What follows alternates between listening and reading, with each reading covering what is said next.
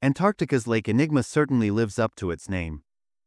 The permanently ice-covered lake, named for the peculiar cone of debris at its center, was until recently thought to be frozen solid. But scientists have discovered a layer of fresh water hidden beneath the ice-covered surface, and it's populated by a diverse cast of microorganisms.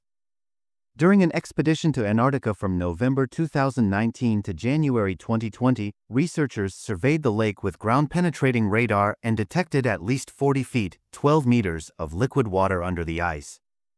The researchers then drilled into the ice and sent a camera to explore the lake's depths.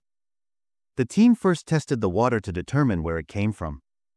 This was important to establish because the area has low precipitation, high winds and intense solar evaporation, so any water in Lake Enigma should have dried up long ago.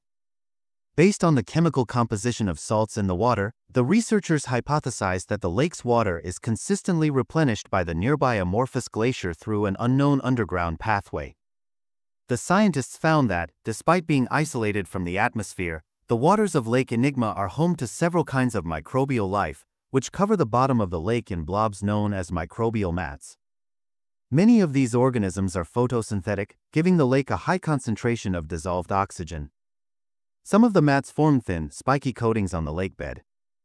Others resembled a crumpled thick carpet, sometimes forming large amorphous tree-like structures up to 40 centimeters or 16 inches high and up to 50 to 60 centimeters, 20 to 24 inches in diameter, the researchers wrote in the study, published December 3 in the journal Communications Earth and Environment.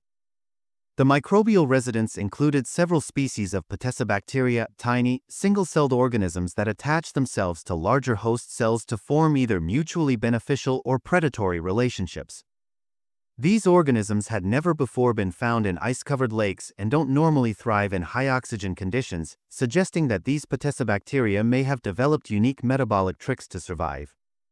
This finding highlights the complexity and diversity of food webs in Antarctic permanently ice-covered lakes, with symbiotic and predatory lifestyles a possibility not previously recognized, the researchers wrote in the study. Environments similar to Lake Enigma exist on icy moons like Europa or Enceladus. The lake's extreme ecosystem could therefore offer insights into conditions in places where microbial life might be found on other worlds, study co-author Stefano Urbini, a geophysicist at the National Institute of Geophysics and Volcanology in Italy, wrote in a translated statement.